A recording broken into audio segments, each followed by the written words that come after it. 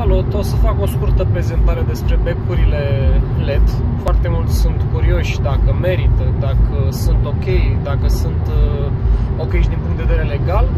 Ideea e că din punct de vedere legal LED-urile nu sunt, uh, nu sunt legale, nu ai voie să circuli cu ele pentru că aduce o modificare asupra sistemului de iluminat, dar niște becuri de calitate vor respecta patternul unui bec uh, convențional, adică cu Wolfram și nu îi vor deranja pe ceilalți participanți la trafic. Acum e o filmare în care vă arăt cam care e lumina pe asfalt în mediu destul de iluminat, să zic așa, adică avem iluminat stradal, avem și ceva trafic pe lângă și imediat o să vă prezint cum se, se văd ledurile astea undeva într-o zonă unde e mai întuneric.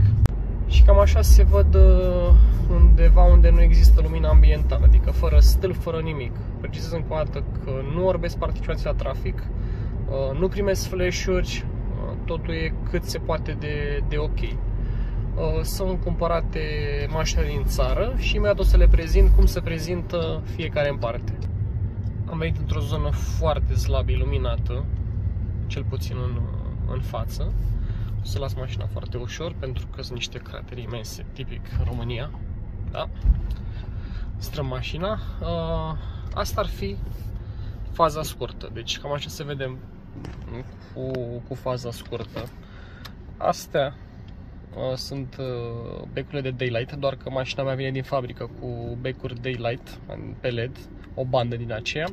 Astea ar fi proiectoarele Uh, poate pe filmare se vede mult mai intens decât în realitate, dar vă asigur că sunt foarte puternice, adică sunt uh, măsurate pe o sursă ampermetrică și puterea declarată bate sau corespunde cu, cu ce a măsurat și pe sursă.